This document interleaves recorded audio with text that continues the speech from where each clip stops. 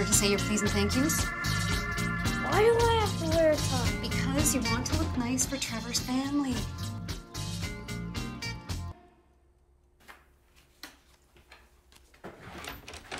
Hey, kiddo, how was it? Why'd you make me wear this stupid tie?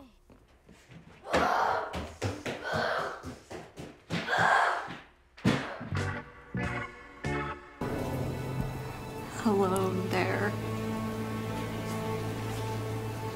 Welcome to 2003.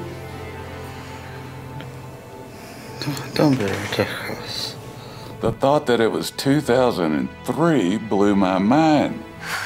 John, there's something I didn't tell you yet. 90 year old woman, no kids. There's a window broken round back. Is this the new drama now? Poor lovable drunk guy loses his dog. What do you know about anything lovable? Probably no more than you know about responsibility. Have you been telling the guy from the hospital what bastards your family are?